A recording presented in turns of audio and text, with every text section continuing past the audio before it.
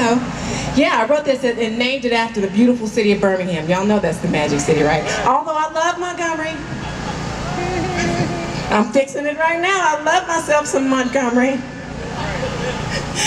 But I am from Birmingham, so this is Magic City Streets. By the way, I didn't even say we're having so much fun with you guys. I do have lots of merchandise. I have five albums here with me today. I've got lots of cool t-shirts. I'll be right over here at this white tent after the show, signing CDs and shaking your hand, taking pictures, and thanking you guys personally for braving this heat with us so early in the day. Y'all still having a good time? Yeah. All right, all right. Now this is real smooth and funky, like laid back. Like if you had a, a car with a drop top, you'd be dropped. That's where we're going. All right, we got any two-steppers? This is your joint. This is your new one. So y'all can download this one as soon as you hear it. Magic City Street.